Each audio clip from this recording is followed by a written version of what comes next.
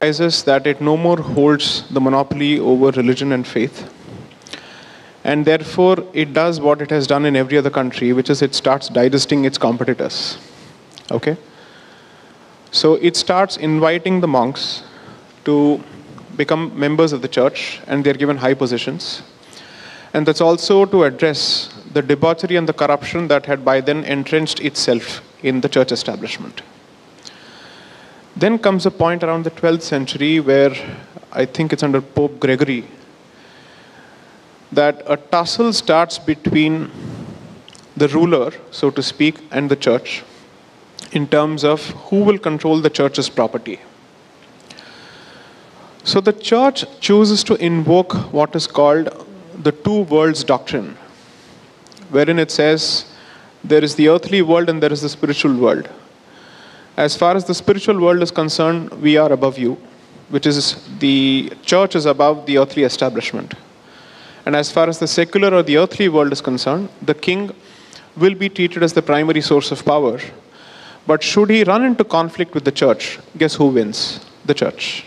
Okay, so the power of veto is retained in the hands of the church. Now, what the church then does is that it goes a step forward, applies this doctrine in the context of ownership of property to say that the state shall not have power over church's property. That is separation of the state from the church. And the way we understand it today is the exact opposite. We understand it today as the state not having a religious identity, whereas it was invoked in the context of protection of the church's property and its fiefdom from interference by the state. Okay? And when they did so, the conversation was still Christian in nature because the nature of the state and its identity remains Christian, and the church is obviously Christian. So neither is denying each other's Christian identity. Then you cut to the Protestant Reformation and the war between the wannabe denominations of the Christian world and the only accepted denomination by the Catholic Church, which is Catholicism. You have the Lutheran movement and you have the Calvin movement, both of them simultaneously challenging the authority of the church. And one of the arguments that they raise is the church has become a den of corruption because it goes about issuing apologies and papal bulls for an ask. So it becomes a transactional exercise where anything can be purchased from the church. And therefore, the, the ability of the church to pontificate to the rest, pun intended, Uh, was, was challenged. And that's how the Reformation movement starts. Now, when the Reformation movement starts, you have to realize that you're looking at a Christian Europe. And Christian Europe starts dividing itself between those states which are in support of the Holy Roman Empire, and therefore you have the, the German houses, naming, namely the Habsburg Empire and so on and so forth, in support of the, the Catholic Church. And then you have certain states moving towards the so-called Protestant Reformation movement. Multiple treaties are entered into between the parties stage-wise. In the first treaty, it's only Lutheran denomination that is accepted as the next acceptable denomination outside the Catholic denomination. Finally, a few, I think 30 years down the line, even Calvinian Reformation, sorry, uh, denomination is accepted as the next uh, denomination. So finally, you're looking at accommodation of non-Catholic denominations within the Christian worldview. Now, what happens then is that European princes also say the Catholic Church, whose head happens to be the Pope or the Vatican, shall not dictate terms to us in terms of our allegiance to a particular denomination. So then they come out with a formula saying, within the territory of a particular princely state, it shall be the decision of that princely state and the ruler to adopt one form of denomination or another. That is Christian secularism, wherein the church, the Catholic Church, will not interfere with the adoption of a particular Christian denomination by a European Christian princely state. The conversation is entirely Christian in nature.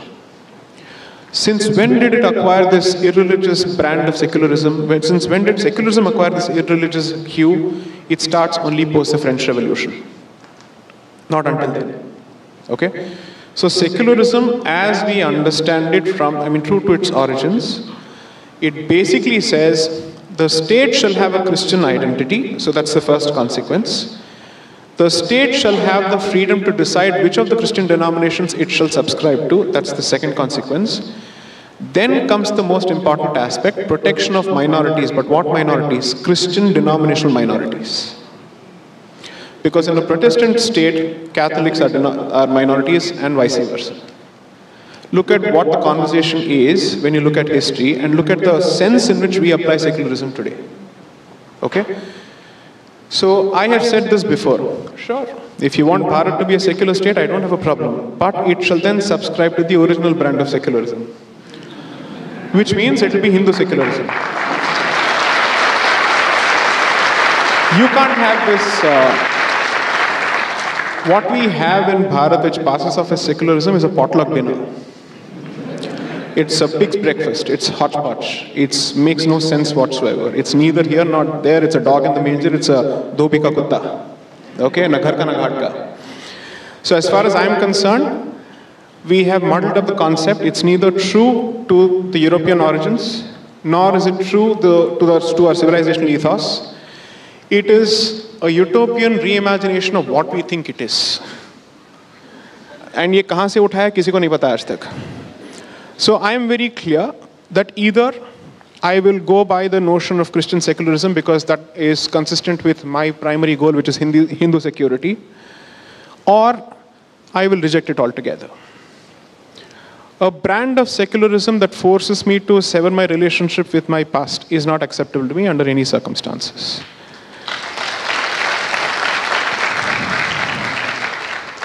ये लंबी चौड़ी कहानी किस लिए बतानी पड़ी because I have no interest in drawing comparison with the US constitution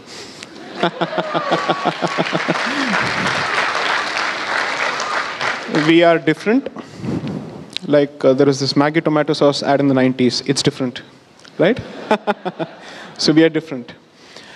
I have no interest in comparing myself to the United States as if it's a benchmark to live by. Um, otherwise, all talk of decolonization makes no sense whatsoever, right? So, second, uh, the constitution as it exists uh, exists is already uh, what I call a cannibalized version of the Irish Constitution, Czechoslovakian Constitution, and the US Constitution. We were comfortable borrowing even from Czechoslovakia, but not from our philosophies of politics. What, um, I mean, this is mental slavery at its peak, Charam Sima. Okay. Article 14, oh yes, the 14th Amendment to the US Constitution. Or you go to the Constitution of Ireland because it's Ireland. Interestingly, in Ireland, if there is a, a conflict between the interpretation of a particular provision in English and in Irish, guess which language they fall back on to understand their constitution? And what do we do? Thank you. Uh, so, so I'm telling you that the hit reset button is most needed in the case of Bharat.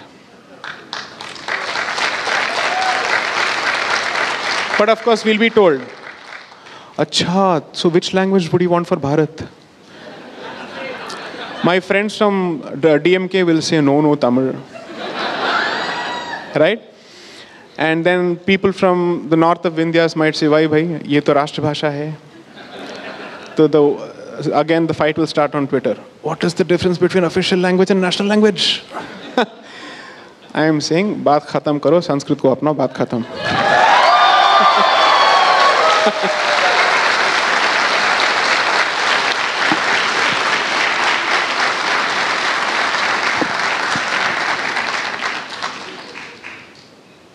So, on this question, uh, you brought up temples, uh, the idea. At this pace, how do you hope to complete 230 questions?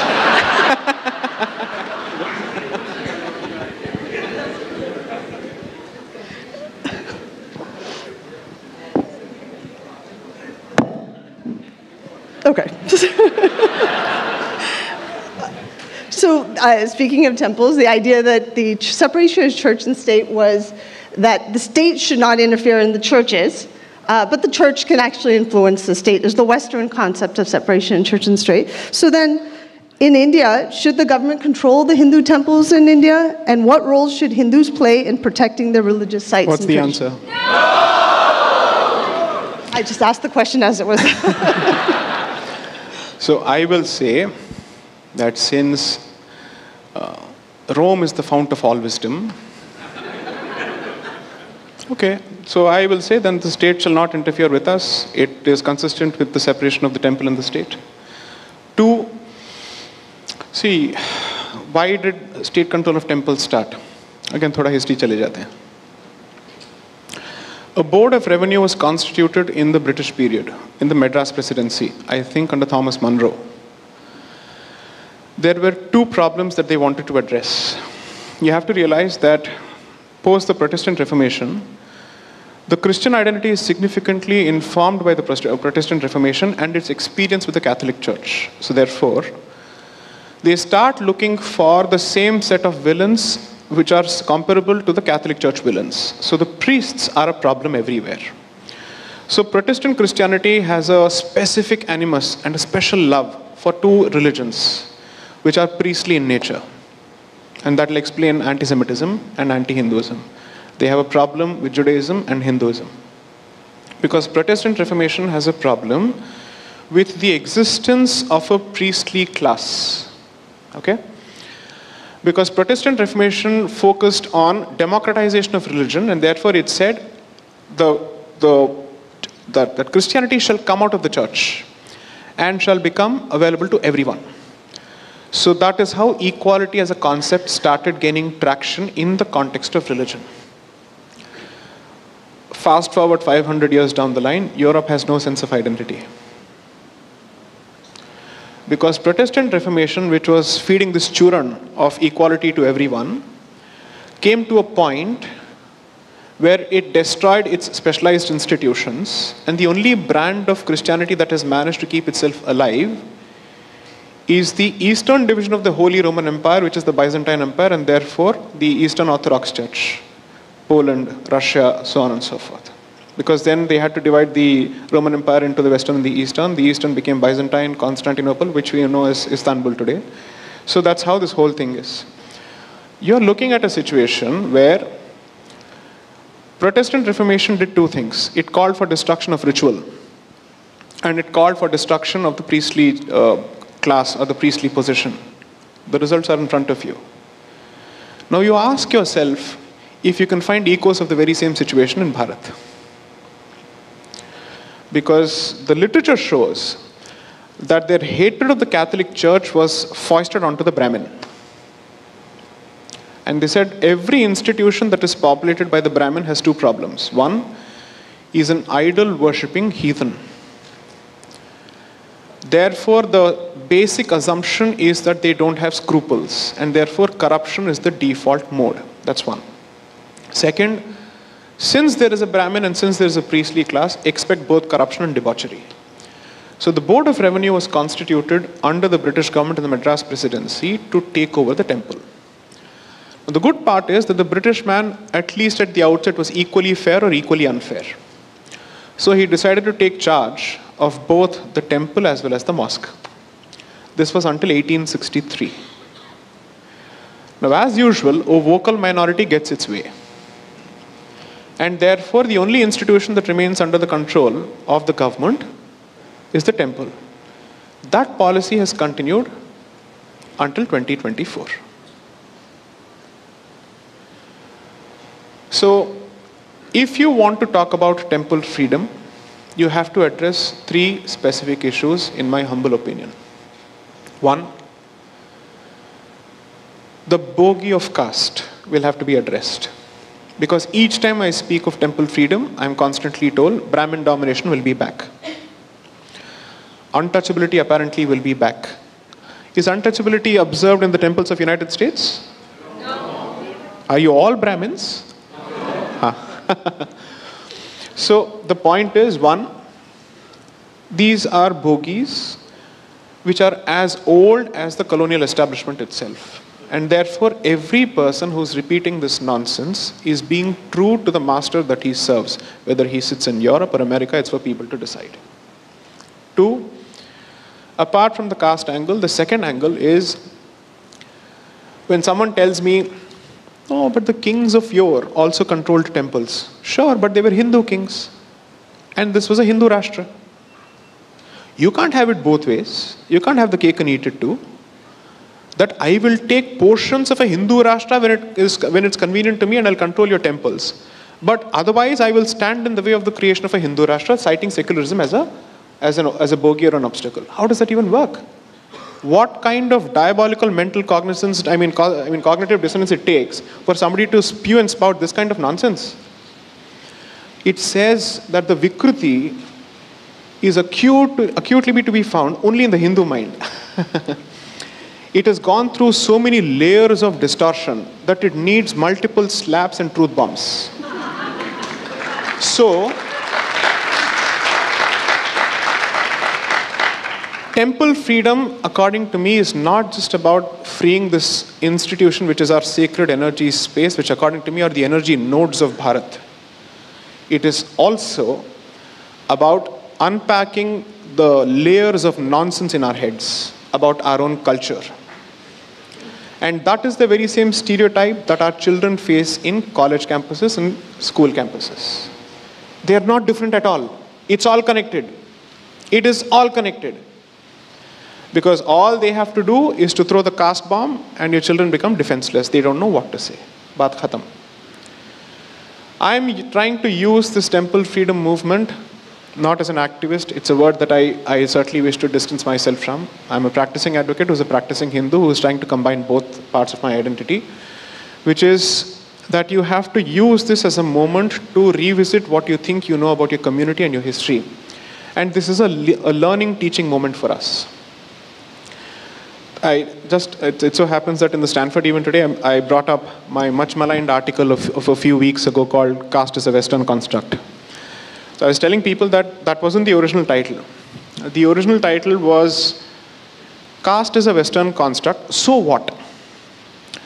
Assume for a moment that you still accept that. How does that change the ground reality? Was the direction in which I wanted to push the conversation. Now, Indian Express being Indian Express, edited the title and simply put it out as caste is a Western construct, did not even play it back for my review and confirmation before they published the article. And lo and behold, Burnol sales went up. People are like, what is he saying? That caste is invented by the British. अरे रे रे रे क्या हो गया what is he saying ये तो पूरी तरह से पागल हो गया है आई सेड अरे भाई मैं वकील हूँ so my basic funda is don't go by the title go by the content of the document whether it's a license or a transfer or an assignment or a hypothecation or a pledge or whatever it is, don't go by what the document claims to, to say it is. You read the document itself. And sir, I said, okay, do you understand where does the word caste come from? Okay, okay, you just say it comes from Portuguese casta. But? No. You look at Spanish history and you look at Portuguese history. Caste actually has a race component. No wonder when caste is sought to be equated with racism in this country, that is the history that they harken back to. Whereas Jati and Varna don't have a race component. So if I speak of dharma and I say dharma is not the same as religion, I'll find a lot of people nodding their heads. Ha ha, correct, correct, correct. I'm applying the very same logic. Then caste is not the same as Varna and Jati. Semantics makes a difference, language makes a difference because every word has its associated history that it has generated meaning for hundreds of years. So, while you want to speak of temple freedom, I would suggest that you also use that as an opportunity to talk about caste. Not caste, jati and varna. Because while each of you has put together this brilliant video because you know that this, uh, these resolutions are coming back to affect you and they will affect you in a very real way, there are people sitting in Bharat who call themselves Hindutvavadis, who have taken a very clear position that temple freedom is an unachievable goal as long as caste discrimination in temples is not abolished. So while you're trying to shore up the, the image of Bharat here and the Hindu community here, aag wahin pe lag in the mothership. Okay? So the place where this video is most important is not just USA. It has to be shown in Bharat is what I'm trying to tell you. Because your own home team will kick a self goal while you're trying to defend and, and establish your case here. So please make sure that this conversation is taken up on a wider level. There is more depth lent to this conversation and the subject. And that means you take an active interest in humanities and not just the STEM side of livelihood. I, am in a, I'm in some position to say this. As a former engineer who's made the transition to law, I'm in some position to make this statement. Right? If you don't do it and if you don't make the transition, I suspect that you're fighting a losing battle. In the foreseeable future, it's not a legacy problem that you will bequeath to your children. You will see it happen right in your lifetime. So, most uh, people of the diaspora decided to set up, uh, let's say, their livelihoods and careers and lives here because they didn't want to deal with the problems of reservation and whatnot in India or Bharat. Plus, there was lack of opportunity and whatnot you will see affirmative action being introduced in the private sector through the DEI route. Something that is unachievable in Bharat will happen here. And what will you do? Because what you, what you want to call a stereotype is accepted as a reality at home. So where will you go and sell your case? These guys won't accept it. Those guys won't accept it. You're stuck. You're the, you're by definition a Trishanku. Next.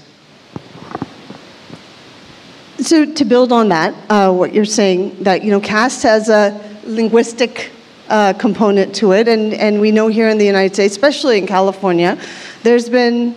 I mean, you have the SB 403, which I know they're going to try again. It's already been started in a lot of other states the fight is very vicious here in the United States on this caste angle, and especially because race is such a sensitive issue in this country, and they're equating the two. So it's an easy fight for them. It's a very difficult fight for us. But in the meantime, and this is the second part of this question, our kids are actually hearing this whole discussion, uh, and they're, you know, getting turned off from our own culture. Uh, what is the strategy? What, what is the right way to, to tackle not only the institutional fight, but also with, in our own homes. I'll draw from the brilliant opening remarks of Vijay Simhaji. Mm. He said that one of the biggest apprehensions that you have is whether the next generation will feel the same proximity to the mothership. Why do Hindus alone have this worry? Why not others? Why do Hindus alone apprehend loss of Hindu consciousness in their children? Or why is it the most in our community and why not others? According to me, there's a clear reason for it. Is that a sign? Okay. yeah, yeah. So the answer is very clear. You don't have your institutional support here. And when I, what I mean by institutional support is either you subscribe to a joint family system which also makes sure that you have some kind of a cultural value imparted through that system, which is improbable and impossible or perhaps infeasible in today's day and age. So, the only other institutional support system that you're capable of actually giving to yourself as a community is the temple. How many schools have been established which are associated with Hindu temples by the Hindu community in, in the United States? That's your answer. Okay. How many schools have been established by other Asian communities here? A lot. If you have a problem going to a private Catholic school, you at least have a Chinese option. Because you think that's safer. Why don't we have schools here? What am I saying that's rocket science? And what am I saying that's not obvious? What am I saying that the brilliant minds of the Hindu diaspora in United States couldn't have thought of? And what am I saying that's beyond the pale of possibility and within your means? It's time for us to start thinking of those institutions which cater to our specific needs. The more you hope that the state apparatus here will be available to help you each time, you will make the very same mistake of outsourcing all your problems to the state apparatus with no iota of self reliance. Certainly build fantastic relationships and networks with the state apparatus because that's crucial. And you, if you don't, somebody else is going to occupy the space. I get that. I completely get that. But where are your own institutional support systems and mechanisms that ensure that there is a cushion for people to fall back on so that when there is a blow that lands on you from the rest of the society, there is something to soften that blow? Every family and every parent is fighting a lonely battle here. And if I'm wrong, please feel free to correct me. It's a lonely battle simply because you're fighting as disparate units and discrete units, not WET, So I suggest that if you don't use this as a moment of awakening and start thinking of long term institutional mechanisms, educational, cultural, religious, and whatnot where every religious occasion is used as a teachable moment and not just as a celebratory moment, if you don't start doing that, our festivals, our traditions will be made fun of. Kanyadan has already become unacceptable in several parts of the diaspora society when they choose to marry someone else. I know of instances where if it happens to be an interracial marriage or an interfaith marriage, the girl coming from, I'm assuming it's still okay to call a girl a girl. So, We don't know.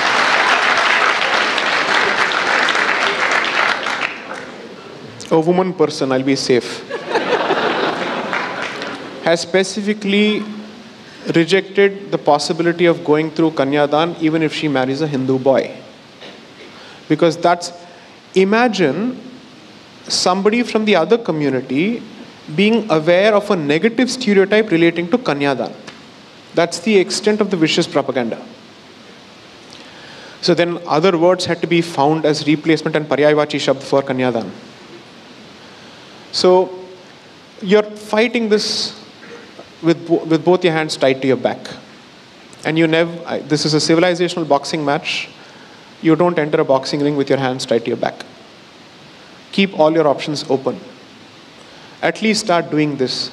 Then we'll come to the next issue of street veto. That's a second issue altogether. It's a different issue altogether at least have these basics in place. Have a timeline. All the Hindu organizations that are divided on religion, uh, sorry, on, on lang- linguistic lines here, will have to start talking to each other. They have to start talking to each other. Feel free to celebrate Onam separately, Sankranti separately, do all of that. I don't have a problem with it. After all, Bharat is a thali of multiple options. So fantastic, go ahead and do it. But let us have a common minimum program, a CMP of sorts, where you're in a position to understand how do we defend our common interests. That's not going to put an end to the bickering within us. Indians hi to alag baat hai. But at least have a very clear red line where you will not cross that red line, a non-negotiable uh, of sorts for the entire community. And I hope platforms such as these and engagements such as these become less about celebrating one individual and more about providing a direction to the community which it direly needs.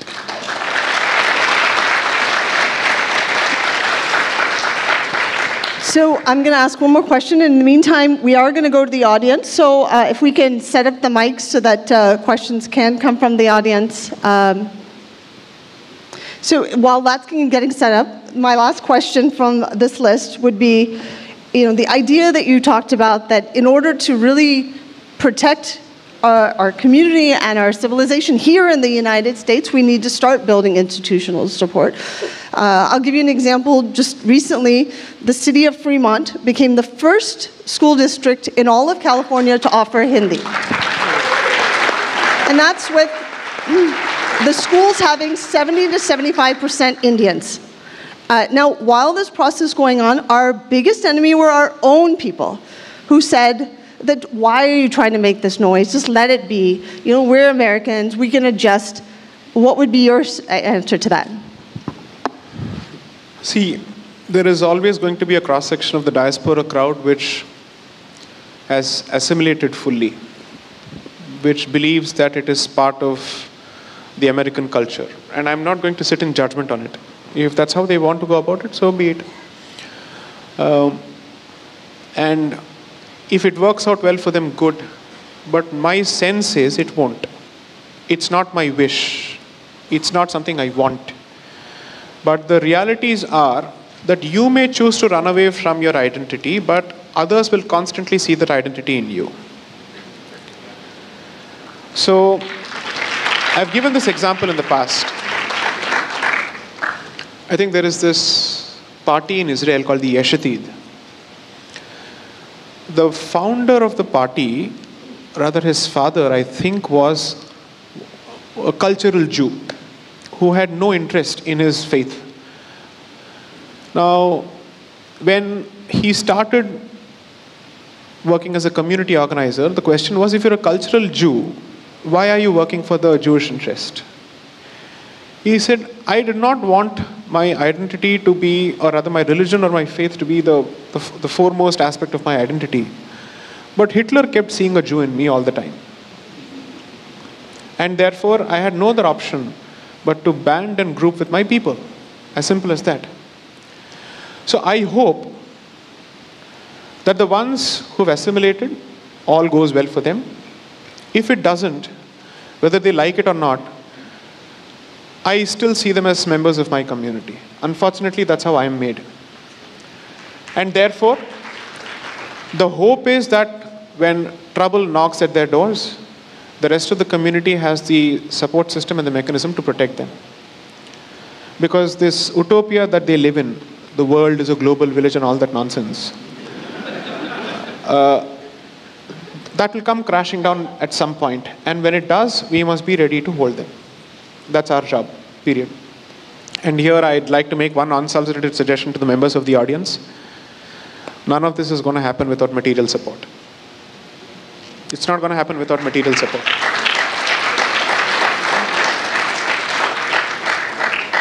Whether you like it or not, dharma needs artha, period. So find a way to support community related uh, causes and initiatives as much as possible. Uh, by the grace of the Devatas, Lakshmi has blessed you abundantly. So, do two things, concrete suggestions here. One, those who are interested in pursuing a career in humanities from the perspective of protecting our way of life by entering that battleground called humanities, support them, please. Second, these kind of initiatives will need your active support and vocal support. Three, should I make this point or not? Pool in your resources, form trusts, and purchase land surrounding temples in Bharat.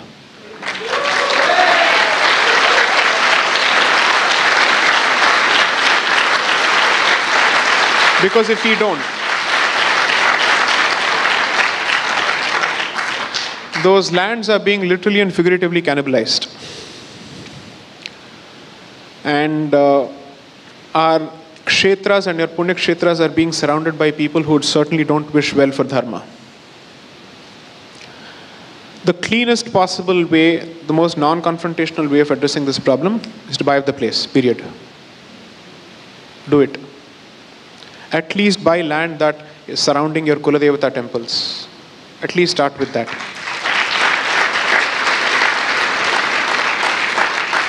Then we can at least avoid one potential problem, which is that of encroachment. These are certain tangibles. It doesn't need an IQ of 120 plus or 160 to come up with these solutions. But these solutions don't occur when there is a lack of will or intent. And precisely because of that, I'm having to make these suggestions. So I think there are enough doables and deliverables which are entirely within the control and remit of the community here. Beyond this, I don't think anybody should have excuses. if they do, there's a clear lack of intent. If that's the case, destiny will address it one way or the other. Next. Uh, so we are uh, going to move to questions from the audience. I do, you know, just to kind of go back to uh, Sai Deepakji's point that, you know, we need to start creating support structures for ourselves. I do want to push the, the INDIC dialogue. I don't know if the QR code, I can't see the screens from here, um, but at least to volunteer, join the WhatsApp groups or channels uh, or donate. Um, if, uh, if you have questions, you can find some of the volunteers and talk to them. The moderator was very diffident in asking for contributions or donations. Don't be. This is a community's cause. If people don't, the choice is theirs. They made their decision. They have not asked me to say this, but I am saying this bluntly. There is no enforced zakat here. And since you have already given proof of your interest by attending this session, I think we are well within our rights to basically say, put your money where your mouth is.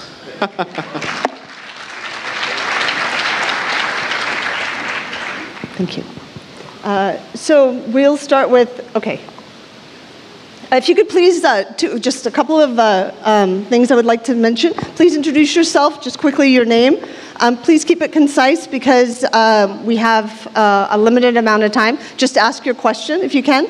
Um, thank you. Go ahead. And don't be repetitive. Can you hear me? Uh, we cannot hear you. Oh, no. Um, Namaskaram, Sai. I, I, I'll come think- back to you. I'll come back to you. Yep. 100%. Uh, Namaskaram, Sai. Thank you Namaste. very much for everything that you do. Um, I run a startup, uh, non-profit for temples in Bharat, um, and re- laying a platform that allows people to be able to participate in any which way they want. In your accommodation, what is it at the in, a, a regular Indian household, a student, a family member, can do within their capacity on a weekly basis to strengthen the temple ecosystem? So, one of the things that over the last six or seven years, what has happened is, uh, apart from supporting uh, dharmic initiatives with my legal services on a pro bono basis to the extent I can and balancing it with my commercial commitments, we realized that the legal process is bound to yield outcomes at a very slow process. And that's the pace of the Indian legal system, and I'm not going to sit and blame the legal system beyond a point in a foreign jurisdiction. But the other thing that we decided to do was to support temple restoration causes on the ground. And that way, the idea was to bust quite a few casteist myths through collaborative efforts on the ground. So, uh, in my personal capacity, I've contributed and several others have. And there are so many temples in hostile spaces that a bunch of volunteers have reclaimed and restored. That it tells me that all is not lost, there is still a lot of hope. We have to find, I think, our own ways of supporting this movement one way or the other. Either you use the temple as a place where you can teach those without resources. If that's a way you can do, please do. I also have given the suggestion that perhaps since the state apparatus and the bureaucratic apparatus is being taken over by hostile elements in a systematic fashion, the temple must at least start supporting those candidates who are interested in entering public service one way or the other. See, the point is, we may be interested in creating wealth, and in the process, we have given up completely on the state apparatus. And that apparatus is being taken over gradually, systematically. If you read my second book, and I'm not selling the second book here, if you read the second book, this is the exact strategy that was adopted by Syed Ahmad Khan, the founding father of the Pakistan movement, according to me, and the founder of the two nation theory in the 19th century, as a way of taking over the English establishment while retaining the English in power. Because the Congress had a lot of people who had already uh, occupied certain positions under the British establishment, he realized that this is the way forward. And that's exactly why the, the Mohammedan Anglo Oriental College was set up, which you know today as the Aligarh Muslim University. So I think we need to start looking at our temples as spaces where, apart from preserving the sanctity of the energy space which has been consecrated there, you also look at supporting the community in different ways. Temples have previously been guilds, they've operated as, as banks and whatnot. That money and that resource and the amount of resources that our temples have, even today, despite all the loss and uh, uh, let's say unconsented alienation, is tremendous. If you're able to convert that into an actionable resource, there is a, there is a lot that we can still do. Allow me to say this, and this is based on my assessment of the situation on the ground. The demographic strength of Hinduism is kept alive by the rural population still. Because the fertility rates are still decent, they're not scared of having children, okay? And they know for, a, for whatever reason, it could also be for reasons of livelihood, that more the hands the more are the people who can earn, so on and so forth. Whatever it may be, they're still keeping that demographic strength alive, and that's one of the reasons we are still in the 70s. We are, I think, according to me, we are totaling on this in the 70s. We are no more in the 80s. That is assuming that the entire 70% population is a practicing Hindu population and they're not full of Hinos. Okay, Hindus in name only. So we have to find a way to use the temple to continue incentivizing these people to do two things they must not vacate villages and districts and come to the city because then that entire space is lost. That's how Exodus starts. And you have to find ways of giving them opportunity in that place.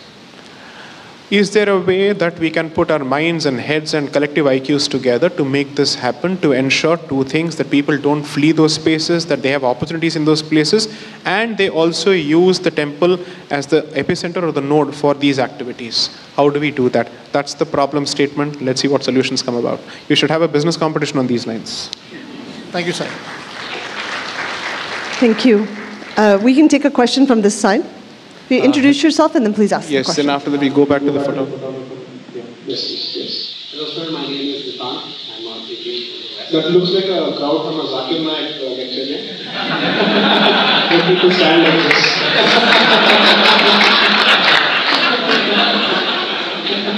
yeah, go on. Uh, so first of all, thank you for articulating what all of us have known, tried for decades, but never quite able to say. Um, thank you for this awakening. I think I speak everyone. Um, my question to you is, in recent Western cultural discourse, uh, there is a new term that is being thrown around called South Asian.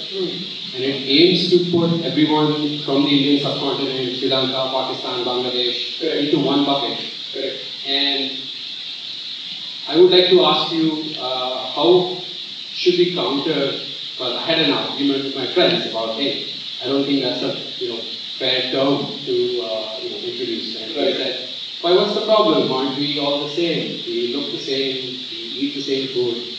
And I would like your thoughts on uh, is South Asian a valid term that we should accept? Thank. I say this with no iota of humility. I don't have the answers to all questions. but I see the problem here is this it goes back to the root issue. One is this has been a systematic attempt, at least since the 19th century, to rob the Indian subcontinent of its existence and its identity fully. So, the Indian subcontinent, the Indian Ocean, so that's why the whole term has been replaced. So, that's the power of language, and that's something that the West, and in particular the Protestant Reformation, has understood really well the power of words. So, whoever enjoys mastery and authority over language and words and definitions ultimately has power over thought control. Two, doesn't it tell you all the more that you're ceding or you have you're paying the price of having ceded the humanities space it, it, it boils down to that see i can understand that in the 90s families which were uh, straddling the thin red line between the low middle class and the middle class in bharat needed to pursue those careers which ensured quick return on investment okay i understand that i come from a similar background therefore i completely understand the urge to take up engineering or medicine that is no more a pretext or an excuse available to people who have lived here for three generations. Surely that's not an excuse available anymore.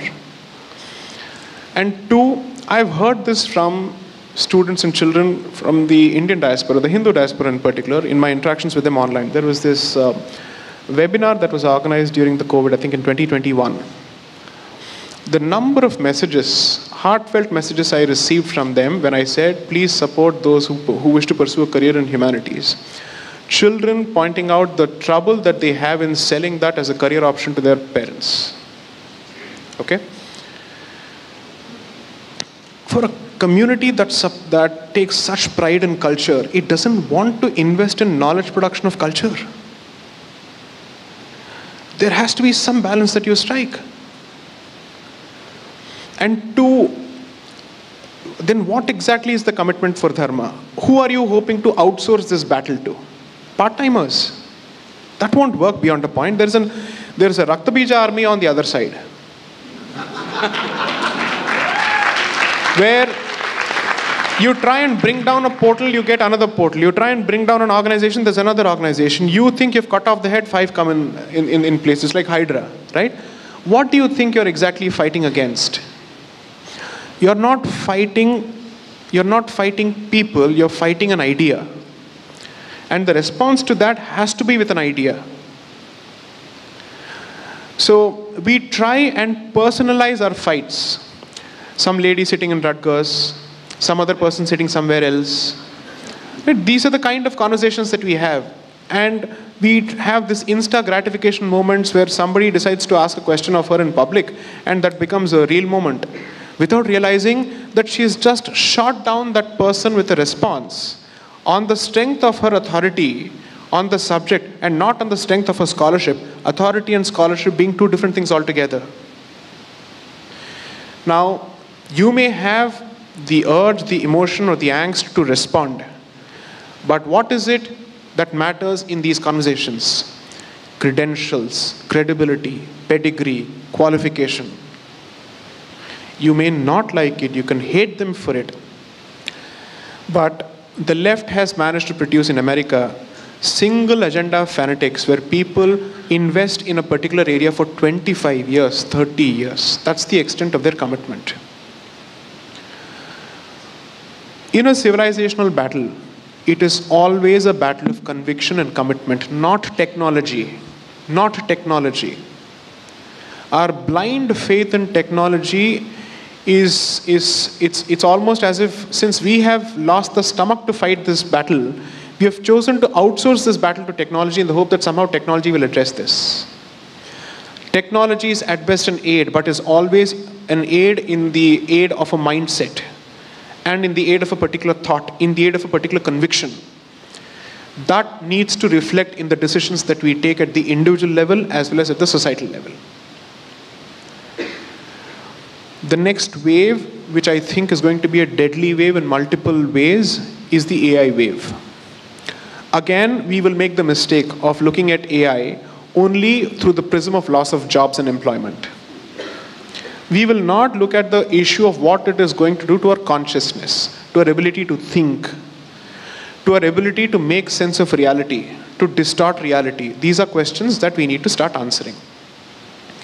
So, what I'm perhaps trying to tell you is that there is no quick fix for the South Asian problem because that is an investment of centuries, at the very least of decades. And you're hoping to address that through Insta reels and shots or YouTube reels and shots. It won't work. So, I, I think people like me can at best do so much because we also have our regular jobs to do and we are hoping to transpose our skills to these areas. I genuinely wish that I came from a background which had the ability to make a choice which is fully uh, humanities based. I wish I, I came from that background, but I did not. So I had to work my way up. Those who are in a position to take those decisions must be allowed to do that. Do you think it's, it's sheer coincidence that most people operating in the Indian left come from affluent backgrounds who have chosen to actually dedicate their lives to the pursuit of these careers? No, it's not. According to me, that's been the traditional Indian way, where most traditional Hindu families, after a certain point of time, once they've acquired material resources, would start looking at contributing to the society in the next generation. The fact is, non Hindutvavadis have decided to invest more in the society, but in a negative way. But Hindutvavadis have chosen to invest in Lakshmi more with very little interest in contributing to culture. That paradox, you can blame them only so much for it. The irony of it is, according to me, it's stark. It's for us to realize that. The only humanities that you're capable of touching, even with a 10 feet barge pole, is law because return on investment, even there. Somewhere you have to realize that hard work pays, whether you like it or not.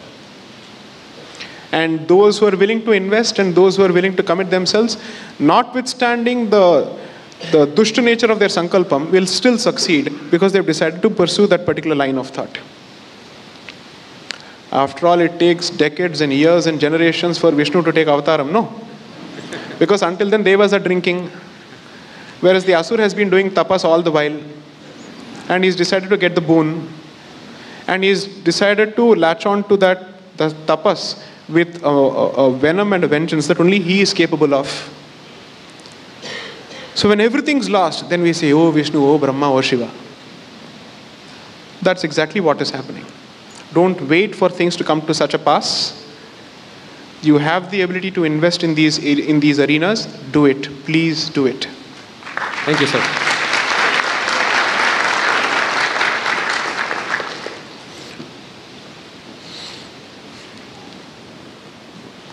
So you take the next question. No, he's been waiting for a while. Karan and Arjun, Ah, you know, the, C, the ED and the CBI, they seem to be election time strategy for uh, BJP than putting the actual culprits behind. use the mic because I think there's a live audience also that's trying. You can you can use one of the mics, please. Use the mic. Please go ahead.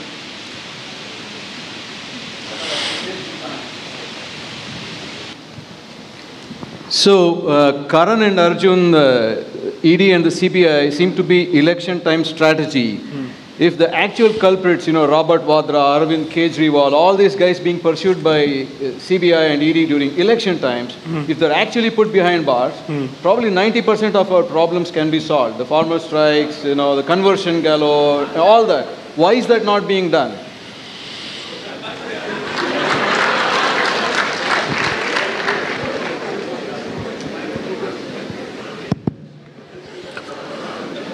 I'll give you a slightly unconventional answer to this.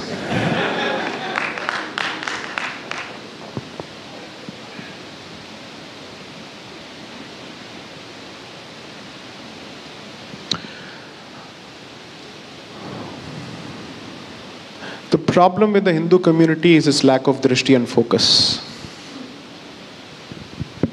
I genuinely don't care for ED, CBI, Vadra, nothing. I'll tell you why. Le- Let me exactly answer the question why. I've seen the world enough to know that lobbies and special interest groups and corruption exists everywhere. Okay? It's a matter of degree and it's a question of whether it exists in sensitive areas which affect national security. Beyond that, it's a reality everywhere.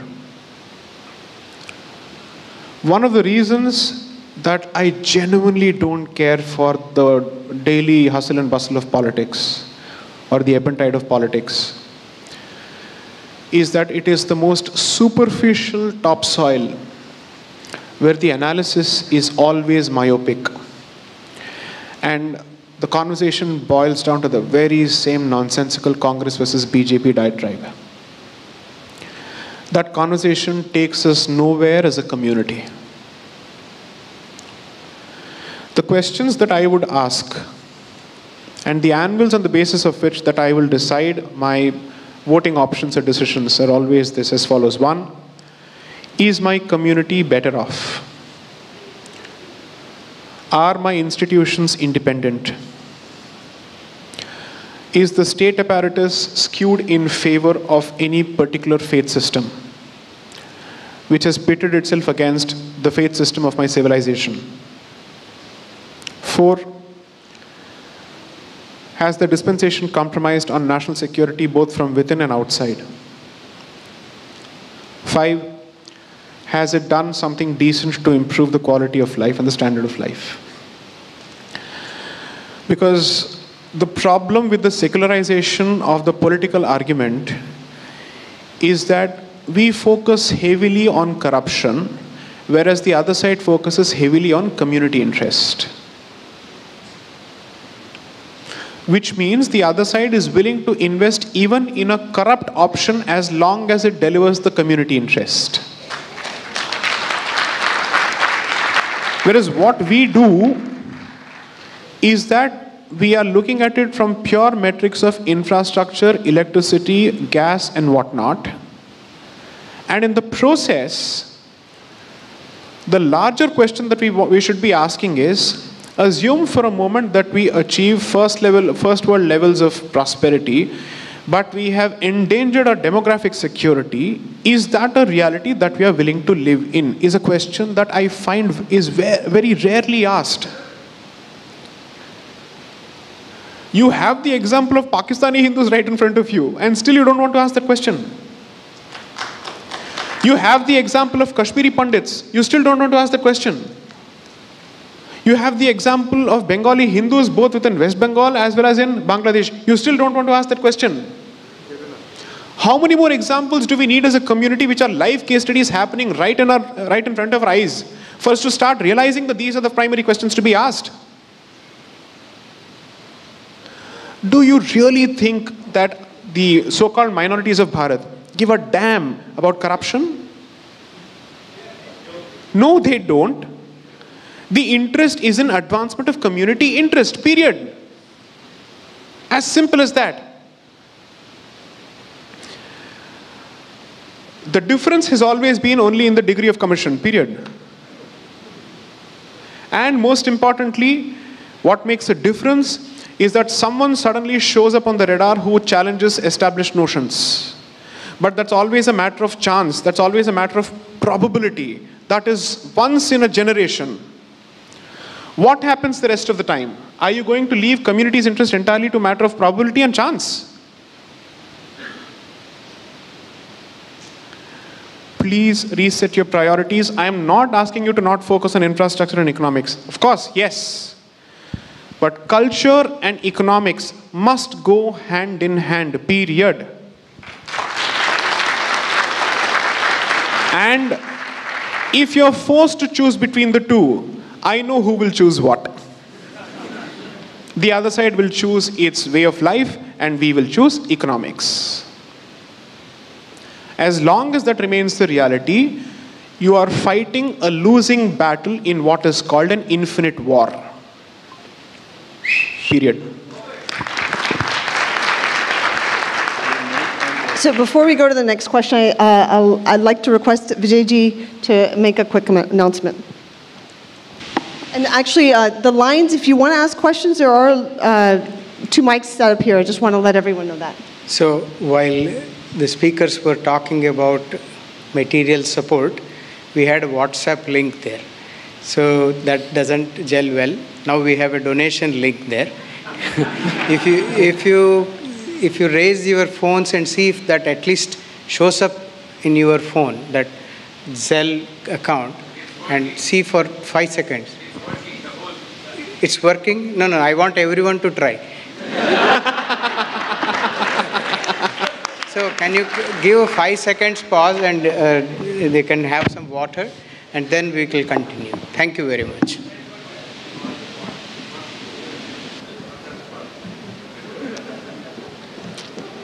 So uh, we're, uh, you know, actually before we go back to the questions, you know, just as a follow-up to what you just said, there's a famous thing that says, uh, there's this, you said community culture versus economics, but in this country they say that, is it politics that influences culture or culture that influences politics?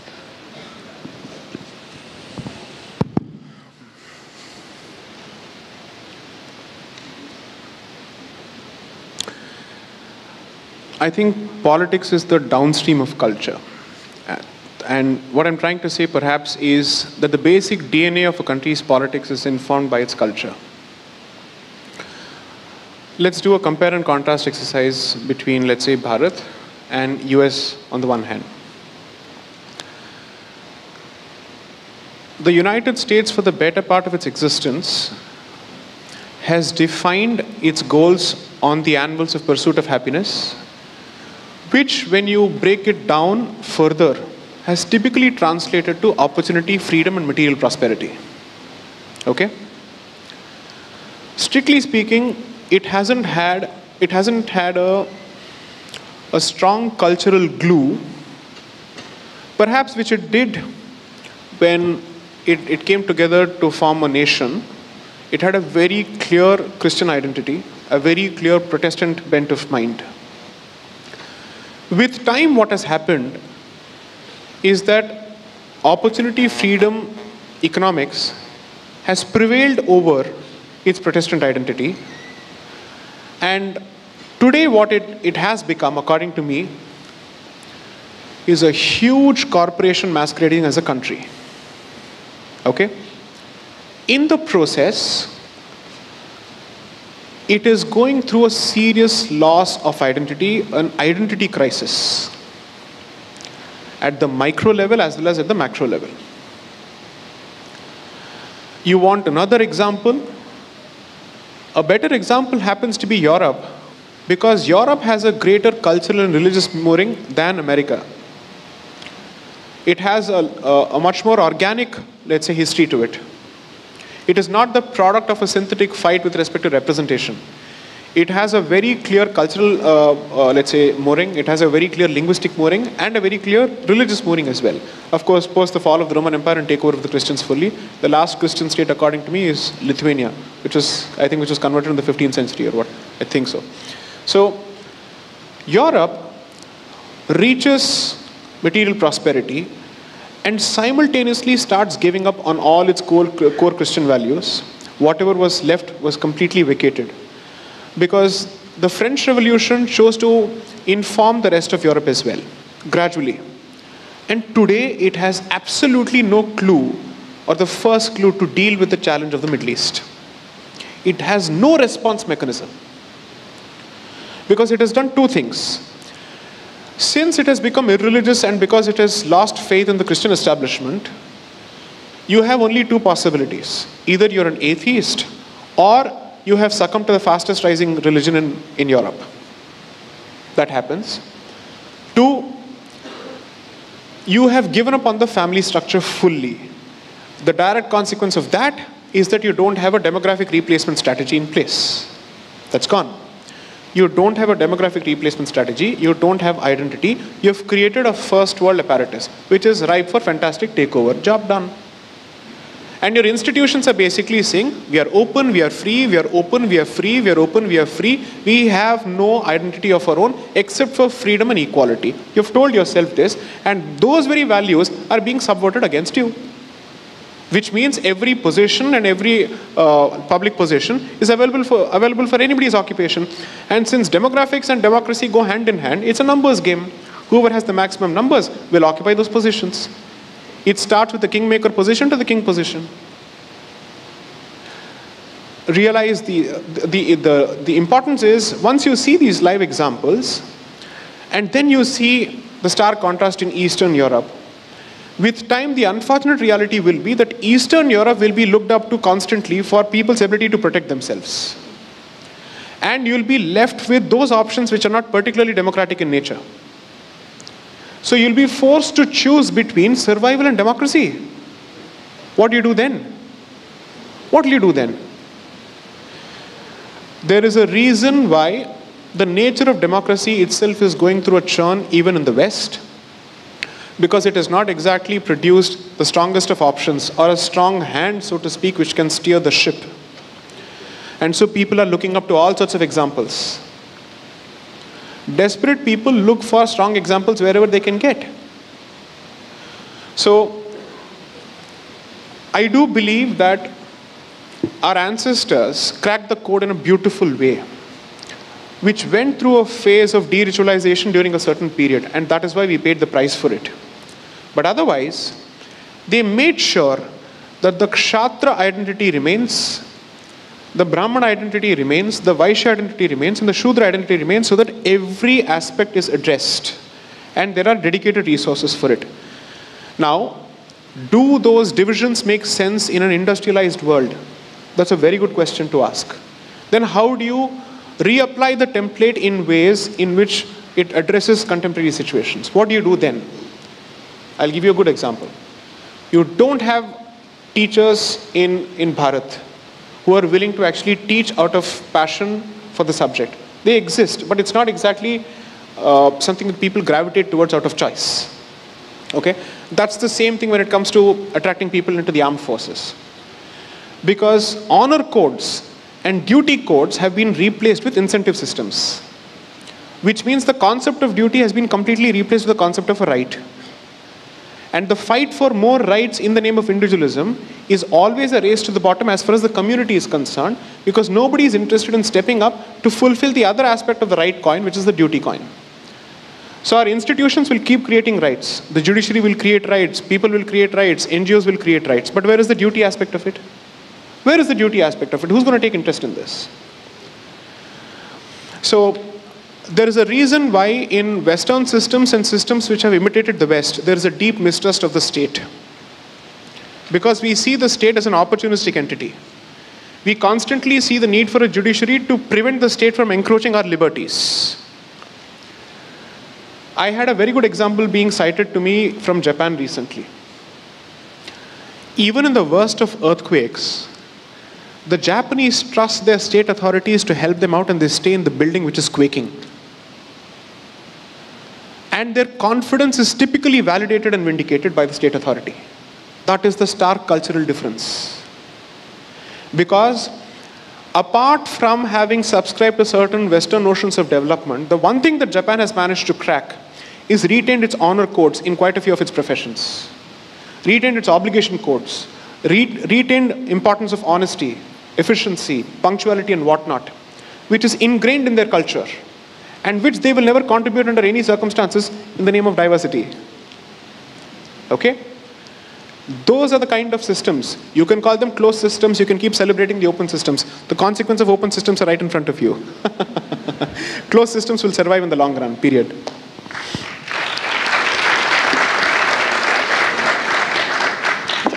So if uh, the person on this side would like to introduce themselves and ask their question. Jai Shri Krishna. My name is Shreya Maheshwari. First of all, I would like to thank you so much um, because you are such an inspiration. Uh, like, truly, I have become more inclined in my culture and religion after listening to you. Uh, so, my question is Thank you. Very sweet of you. Jai Shri Krishna. So, my question is what can I, the youth Hindu, do outside of India do to apply the principles of decoloniality and preserving Hinduism directly?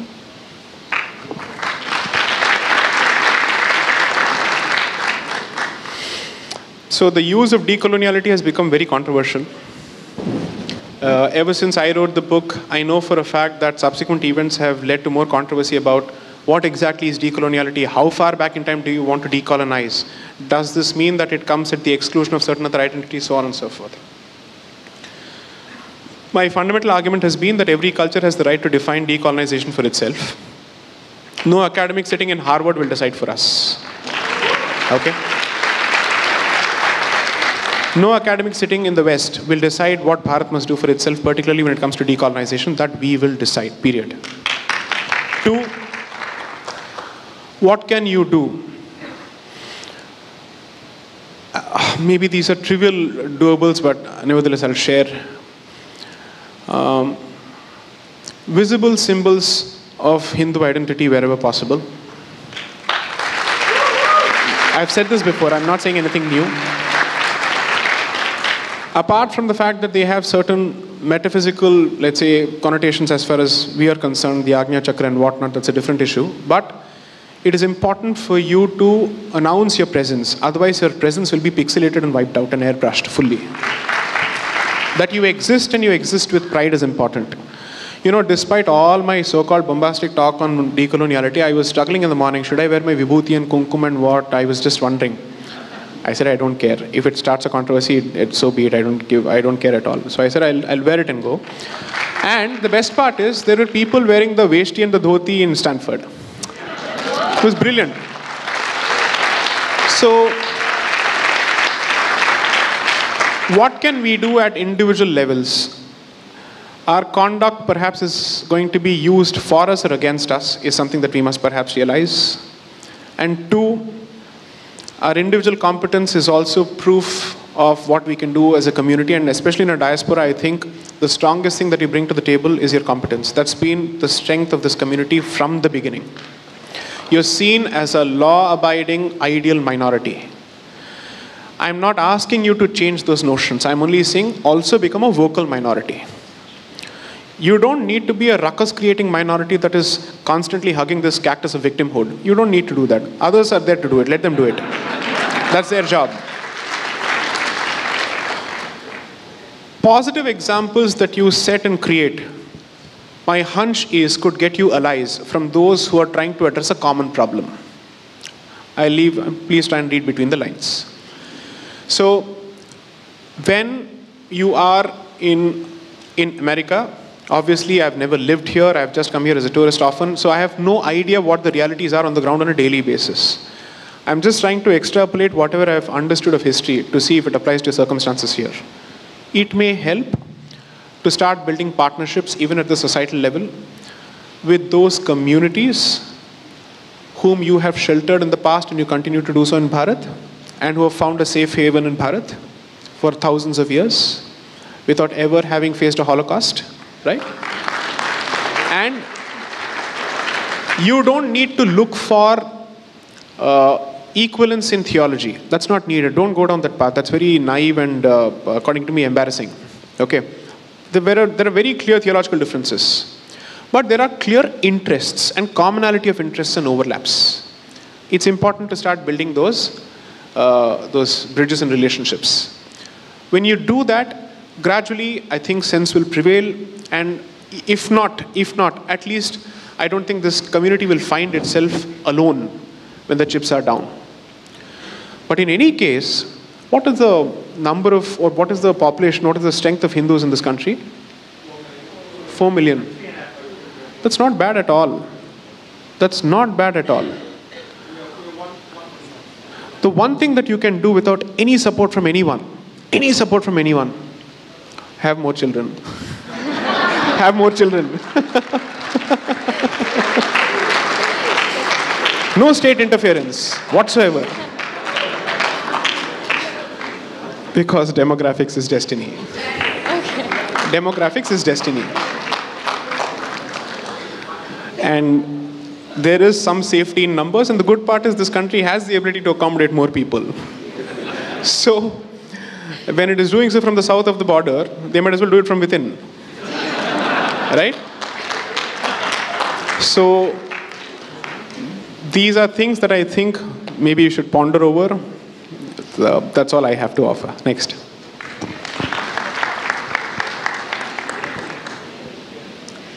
Uh, I, you know, I know there's lots of questions, uh, and there's lots of people online. I, I really apologize because we had, like I said, even online there were lots of people love you.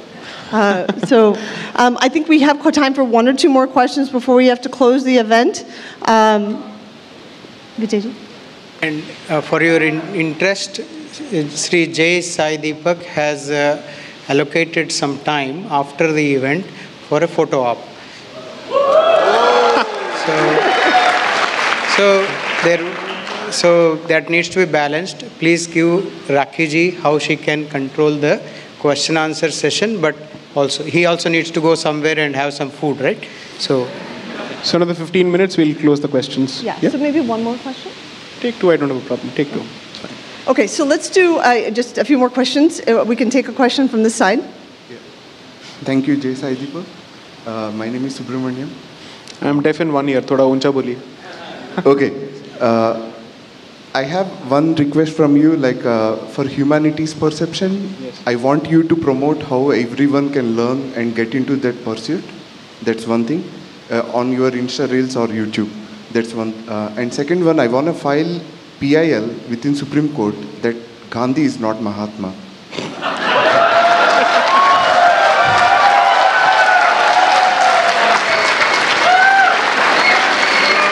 and and uh, and another one, another question. Uh, this question is when leftists were able to get everything done within like couple of hours, like one to two hours, they can move the Supreme Court even during the midnight. As a constitutional attorney, under freedom of speech, why can't you get the string reveals back into the public? Okay. See, I think uh, this question warrants a few clarifications about what I do. And then this is this is not a self-edificatory exercise, but I think this clarification is, is important to set the record straight. Sure. So one, it is beneath my professional dignity and my professional ego to behave like an ambulance chaser. Because already there are certain negative stereotypes about our profession. and I don't want to reinforce them. Two, you have to realize the, the precarious position I typically find myself in. And mo- most people may not understand this. If I take up more cases that relate to the community, I'll be accused of being jobless. That's one. इसके पास इसके अलावा और कोई काम ही नहीं है. Okay. Second thing is, if I do well, they'll say I feathered my nest at the expense of the community. If I if assume for a moment that in a particular matter the outcome is negative, this guy took it up because of his publicity and because of his publicity mongering, and he he screwed it up completely. In either case, it, re- it really doesn't cover me in good light. So I have been hyper selective about these things. One, I will never, ever, ever be a full time public interest litigator. It does injustice to my skills as a commercial litigator who is good at what he does. I will never do it. Okay? I am someone who is in love with his profession and I know what I'm good at and what I'm not. So, commercial litigation has given me the financial independence and thought independence to say what I say without being beholden to anybody. Okay? No party affiliations, no organizational affiliations under any circumstances. Because that gives me the ability to take a position which is in community's interest as opposed to organizational interest. That is a position that I'd like to retain. Two, when you take up everything, after a point it becomes about you and not the cause. That needs to be avoided. And the idea has always been to widen the base of stakeholders when it comes to this battle. And that decision has paid off because multiple lawyers have turned up in so many uh, high courts and, and even in the Supreme Court to take up our causes.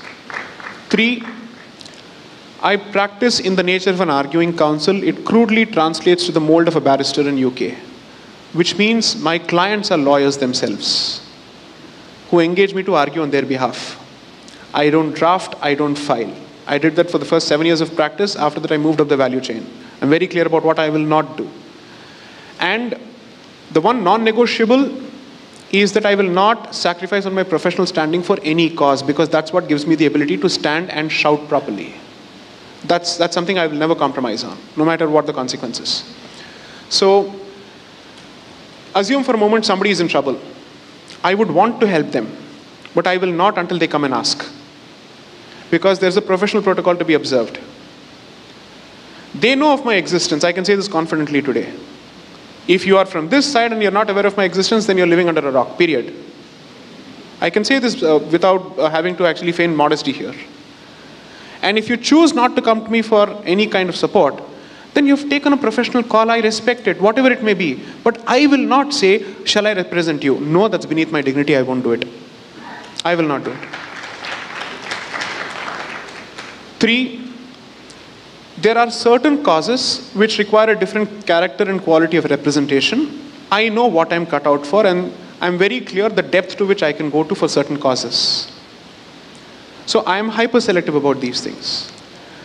Most people assume that I have taken up what 20, 30 cases of uh, dharmic character. I have taken less than 15 cases, but each of those 15 cases have been high stakes or have been crucial and important. I am not going to take up every case uh, of people, uh, let's say on the street. I'm not going to do that under any circumstances.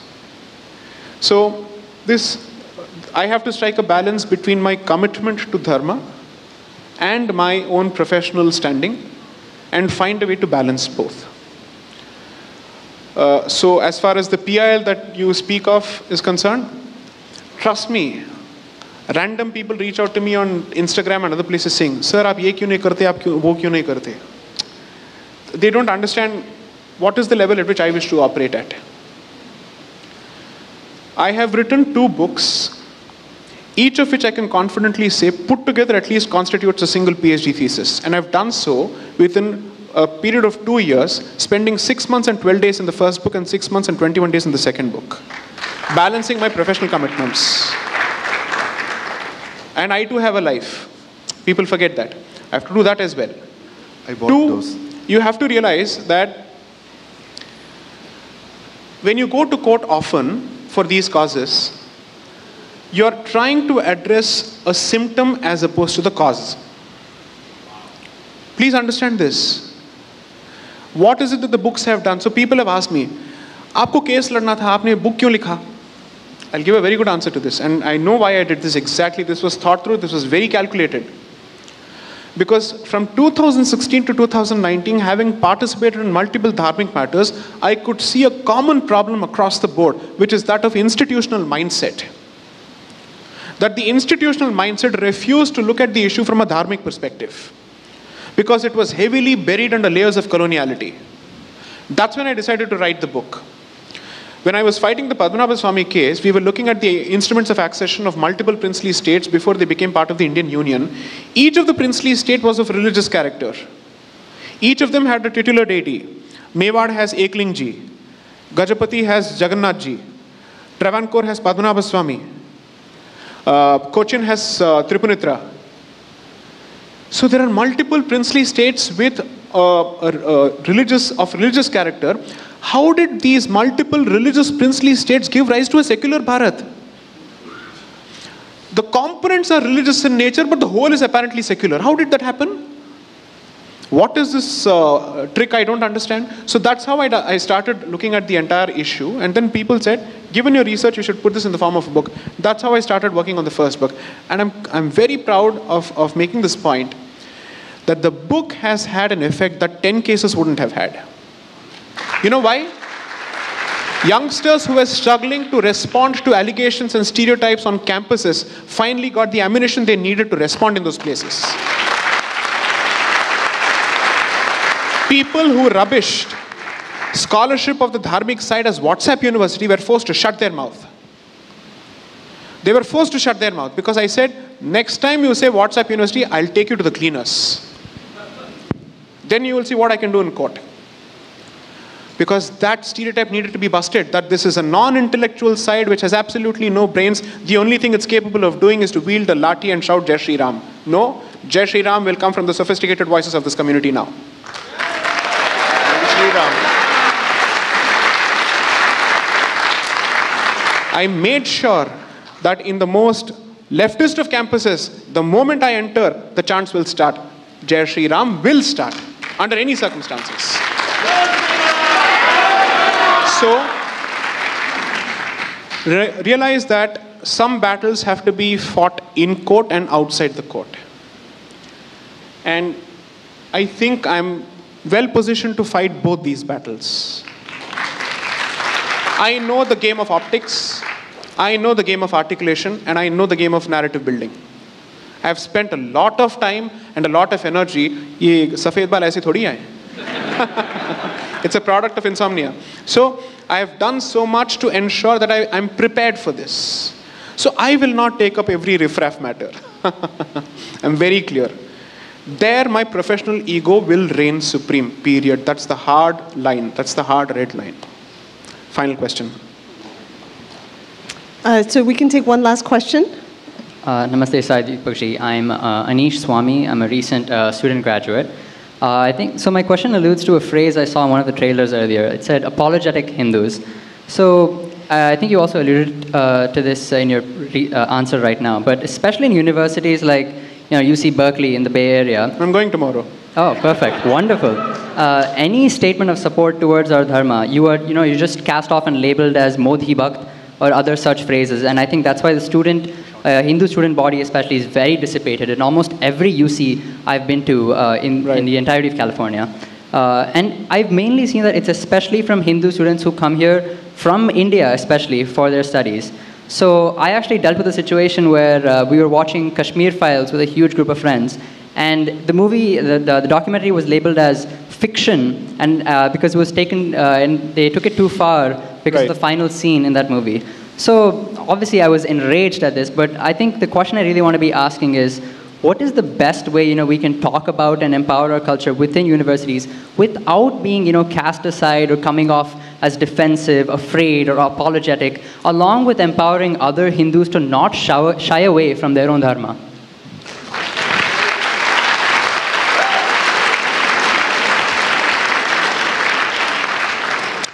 There's a university in Sonipat, Uh, a few kilometers away from Delhi, called the Ashoka University. So, 2018, I was invited for a lecture by a group of Indic minded students who obviously were in the minority, but who still had the guts to invite me and suffer the consequences of that invitation. I told them very clearly I don't want any invitation that comes at the expense of your careers. So please feel free to cancel this invitation. To me, it wouldn't make a difference whatsoever. I will not mind it one bit. But I will not live with the guilt of having destroyed careers of students merely because it was a speaking opportunity for me. So I told them as much. The boys and girls were so brilliant, absolutely brilliant.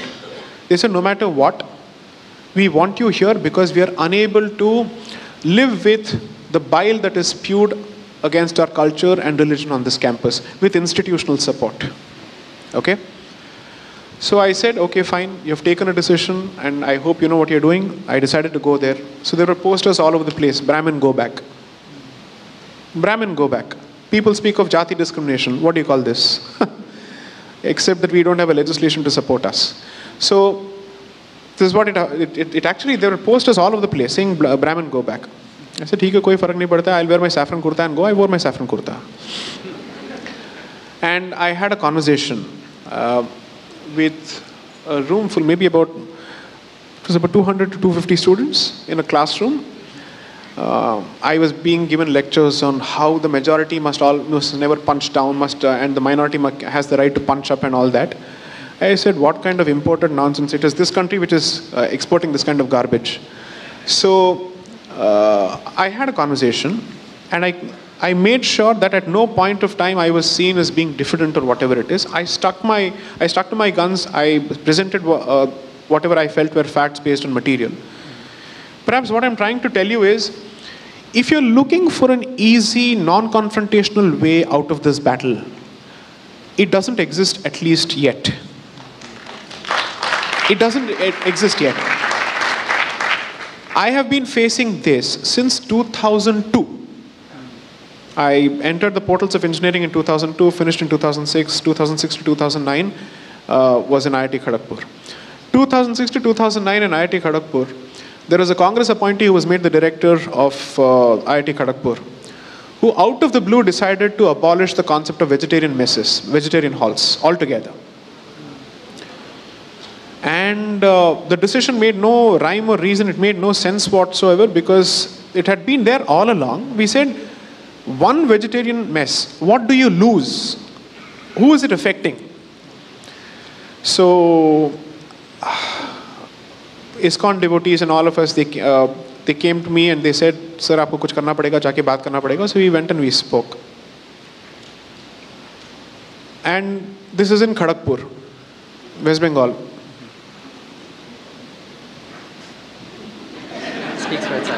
सो ऐसे ठीक है. लाल को भगवा जवाब तो मिलेगा मिलेगा। तो I basically asked a simple question if I were of a different community and I said that my sentiments were hurt by certain decision that you taken would you have dealt with in the same dismissive nature is like why you getting political I am not getting political at all I am asking your question I am happy to put this question writing through representation And for days we lobbied and lobbied and lobbied and lobbied, and finally we managed to retain that one mess.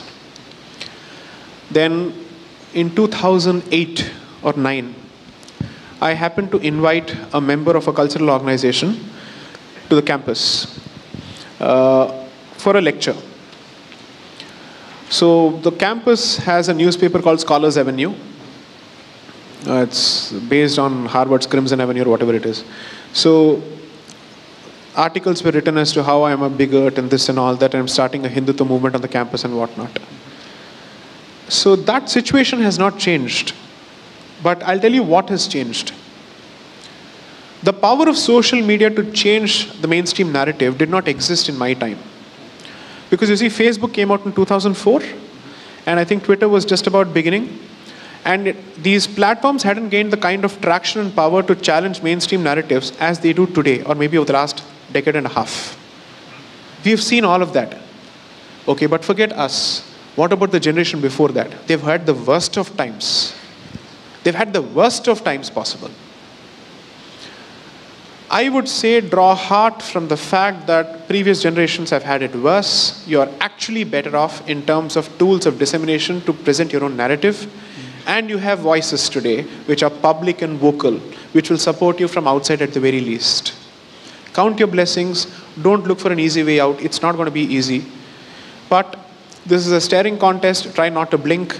The, the tide will turn. It will turn. We have come this far. Who would have thought that my books will be published by Bloomsbury or Vikram's uh, books will be published by Penguin at one point? We were persona non grata or persona non grata. We wouldn't have been allowed access to any of these portals at all. That has also changed. It has changed thanks to the sacrifice of all those unsung people before us. Not because of our solo efforts. People who managed to keep kicking at the door on a regular basis, finally the door opened. Okay? So, my only suggestion to you is draw courage from your ancestors, cultivate a spiritual practice which will keep you strong when the wind is blowing strong around you. You will not you will not allow yourself to be affected by this and that is not going to come from outside. If people think that popularity on social media is going to help people deal with situations when they are directly in the line of fire, no, it does not. What helps you deal with situations is your spiritual, dharmic grounding on a regular basis. That's the only thing that keeps you strong. And this is a fight for commitment to your faith. That is the ultimate test. That is the ultimate test. That when, when reduced to the brass tacks, this is the only issue. So find a way to couple it with the previous question of having a regular spiritual practice that strengthens your spine and your brain on a regular basis and sharpens your tongue. Thank you.